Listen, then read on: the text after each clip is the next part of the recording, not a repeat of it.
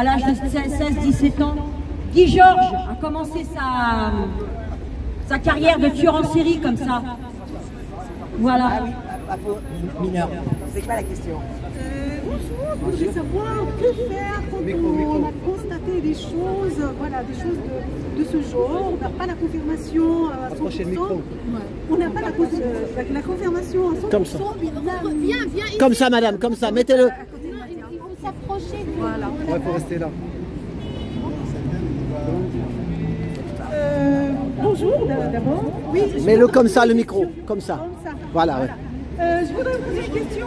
Que faire si on constate euh, des faits de ce genre? Moi, personnellement, il y a mon fils qui m'a parlé d'agression, pas sexuelle, mais après, il y a quelqu'un qui l'a tapé, il y a quelqu'un qui. Euh, voilà, on L'intimidation, intimider. Intimidé, voilà. Et tout. Le, voilà, en gros, euh, voilà, au foyer. Mais que faire? Moi, personnellement, j'ai en parlé à la ZE, j'ai contacté le, la chef de service, mais j'ai eu aucune réponse. On me berne à chaque fois. Aucune réponse, mais aucune. C'est votre fils qui est placé. Oui, c'est mon fils. Il a quel âge? Euh, Aujourd'hui, il va avoir euh, 11 ans dans quelques Ah. mois. Il y a deux ans, il est placé de, depuis deux ans. Ce qui fait, voilà, j'ai jamais eu de réponse, j'ai jamais eu de... Voilà, on m'a pris, en fait, pour une folle devant le juge. D'ailleurs, c'est la cause de, de, de prolongement du placement de mon fils pour un an de plus, tout en sachant que... Tout en sachant Alors, que... tu as, alors, Oui, ok. alors, tu as répondu toi-même. J'allais te demander, quand tu l'as dénoncé, est-ce qu'il y a eu encore le renouvellement du placement? Mais tu viens de répondre toi-même. Et c'est ça aussi la réalité, malheureusement. Moi, depuis euh, 4 ans que je me bats à côté de ses parents, que j'apprends à connaître les dossiers, à voir un peu réellement comment ça fonctionne, au début, je leur disais, non, il faut rentrer dedans, il faut déposer des plaintes, il faut vous battre. Je suis désolé, les parents. Je suis désolé parce qu'aujourd'hui, avec le recul, fermez votre gueule. Fermez votre gueule. Ne dites rien. Ne les dénoncez pas. Continuez à vous battre pour les récupérer.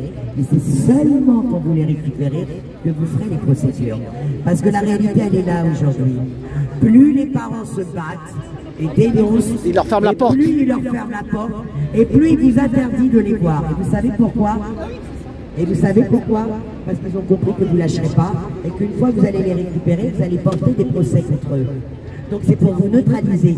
En réalité, c'est pour neutraliser les futurs procès que vos enfants avec vous peuvent faire. Vous voyez ce que je veux dire? Et là, j'ai le message pour eux. hein. Nadine et Margot ne lâcheront rien. Peut-être qu'aujourd'hui vous les manipulez et qu'effectivement ne se bat, ne se bat pas plus pour être avec leur maman, mais quand Nadine va les récupérer, même si c'est par la tignasse, elle les emmènera au tribunal pour qu'ils portent plainte. hein. Nadine ne laissera jamais passer ce qui s'est passé.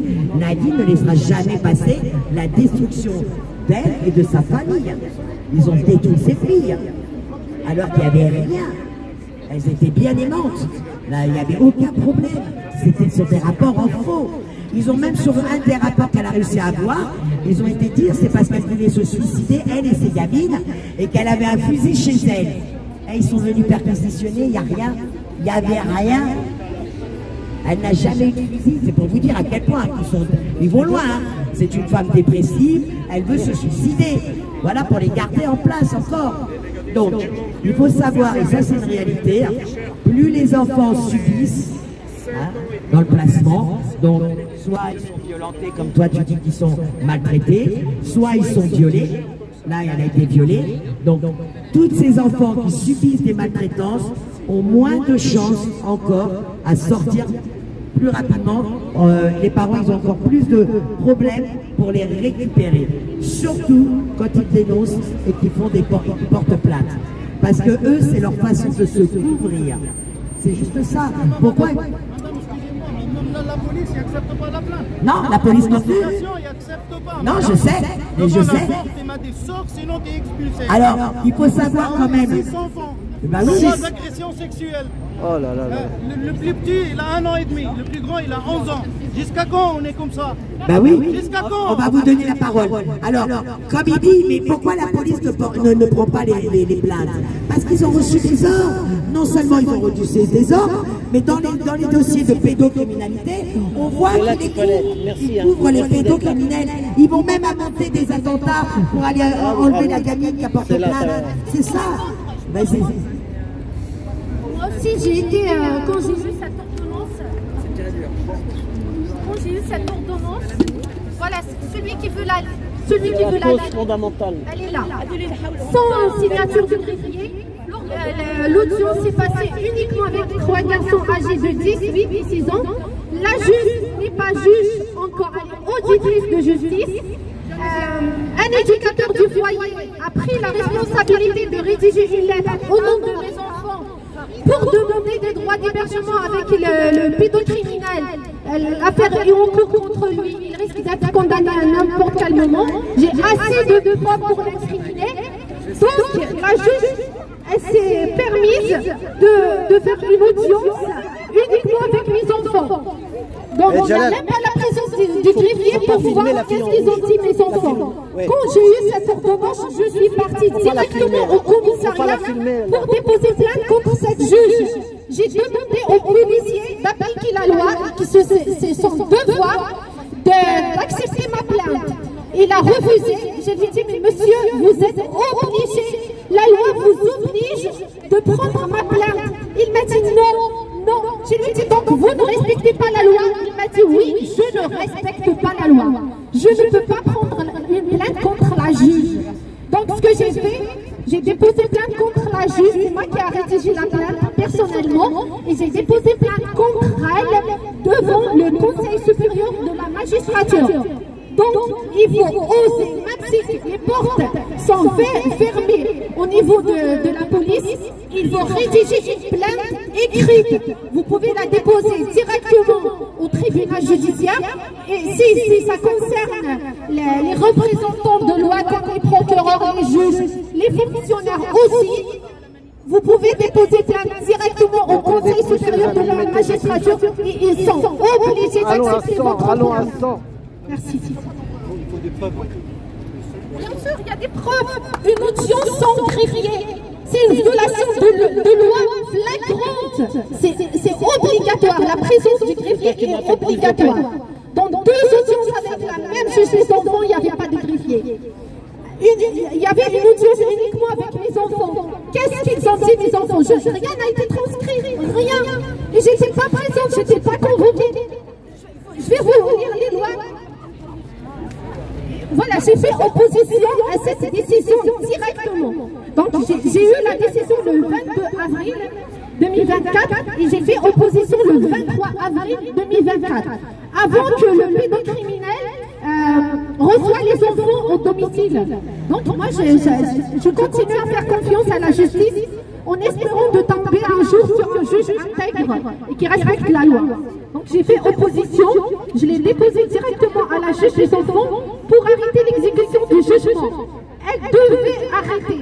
Mais là, en ce moment-là, mes enfants sont avec le pédocriminel chez lui. Ils ont continué à exécuter, à exécuter le jugement. Même si j'ai fait opposition et j'ai fait appel, en fait, le, problème de la justice française, c'est que ceux qui représentent la loi ne la respectent pas. Ils violent les lois. C'est un monde purement satanique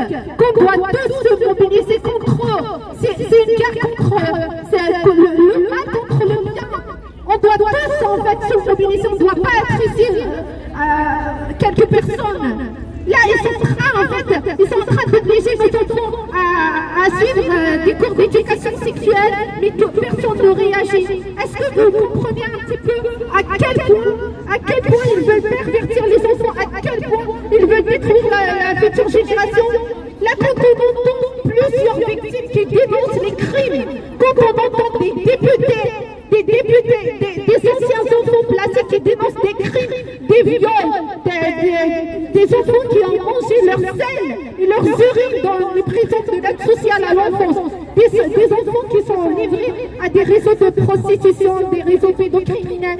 On, entend beaucoup, beaucoup, des milliers de témoignages, mais personne ne réagit. Personne n'essaye de faire de vraies enquêtes pour, condamner ces pédocriminels pour nous faire taire, ils ont créé une commission, une commission parlementaire qui parle de dysfonctionnement. Mais comment on peut être hypocrite à ce point On dénonce des crimes sur les enfants, des crimes sur les parents, des crimes sur euh, les, les- les valeurs. On dénonce tout ça et d'un autre côté on parle de dysfonctionnement. Mais qu'est-ce qu'ils attendent pour supprimer cette secte qui l'aide sociale à l'enfance Qu'est-ce qu'ils attendent? Merci. Voulez-vous dire les lois violées par la justice enfant Article 1182 du Code des procédures pénales. Je suis la maman, j'ai l'autorité parentale. Le placement est provisoire, soi-disant pour l'enquête, mais finalement, c'est pour manipuler les enfants et les forcer à retourner chez leur agresseur. Ce qui veut dire qu'ils veulent en fait que les trois garçons soient des pédocriminels comme lui. Bien sûr qu'on sait très bien que ceux qui subissent ce genre de ne sont pas suivis psychologiquement, s'ils ne sont pas bien encadrés, ils finissent par devenir, par reproduire ce qu'ils ont subi. Cette loi. Il y a l'article 489, 490 du Code des procédures pénales. Il y a, il y a la loi, la loi numéro 2024-233 du 18 mars 2024. L'exercice de l'autorité parentale et les droits de visite et d'hébergement du parent poursuivi doivent être, suspendus. Moi, le pédocriminel, il est poursuivi. Il y a une enquête euh, en cours contre lui qui a commencé depuis, euh, depuis le 22 décembre 2022. Le procureur de la République de Nanterre a classé l'affaire le mois de juin 2023 pour manque de preuves euh, suffisantes pour une poursuite pénale. Donc, euh, déjà, le procureur n'a pas le droit de classer les affaires criminelles. Il, il a qualifié ma plainte de viol, incestueux, mauvais traitement et violence physique sur mineur, mais il a classé l'affaire lui-même. Euh, dans la loi, ils doivent, ils doivent euh, nommer une- un juge d'instruction, ils doivent une vraie, euh, une vraie enquête. Mais il a classé l'affaire, il n'a même pas exploré tous les éléments que je lui ai donnés. Ils m'ont donné des expertises pour les, euh, des réquisitions pour l'expertise euh, euh, psychologique des enfants. L'assistante sociale, Bien sûr, les assistantes sociales ont vraiment un pouvoir immense. C'est elles qui décident, c'est elles qui font des lois, c'est pas les juges qui décident. Donc l'assistante sociale décidé d'annuler l'expertise. Les enfants n'ont pas passé l'expertise. J'ai les réquisitions, mais elle a tout fait pour annuler l'expertise. Donc euh, elles ont vraiment un pouvoir. Moi, elles me, l'ont dit. À chaque fois, elles me rappellent, elles me disent, madame, il faut comprendre que la justice n'est pas de votre côté. Ça veut dire il faut comprendre que la justice ne va pas juger. Moi, je continue et je vais continuer à faire les procédures judiciaires à lutter légalement pour la condamnation de ces responsables de la destruction des enfants et la, protection des pédocriminels. Donc moi, j'ai attendu cette loi avec impatience, la loi Santiago, pour protéger les enfants victimes de viol et d'inceste. Mais les juges ne veulent pas l'appliquer. Je ne suis pas la seule. Je suis en contact avec plusieurs victimes. Ils ne respectent pas la loi. Voilà. Qu'est-ce qu'on va faire quand on a des juges qui ne respectent pas la loi? Qu'est-ce qu'on va faire quand, quand il y a des procureurs qui ne protègent pas les Donc on n'a qu'à dénoncer et à continuer à dénoncer publiquement pour éveiller les consciences. Là, la police qui sont là en face, ils savent très bien que ce que je dis est la pure vérité. Bah, quand j'ai affronté des députés dans des manifestations en, euh, concernant l'aide sociale à l'enfance et les crimes sur les enfants et la pédocriminalité et les enfants qui sont remis à leur agresseur avec la complicité de la justice, ce qui est bizarre, c'est qu'ils me, me disent tous que c'est vrai, que je, que je dis la réalité, mais ils ne font rien pour changer cette, cette réalité amère. Voilà, Merci, merci. Voilà, merci pour tout.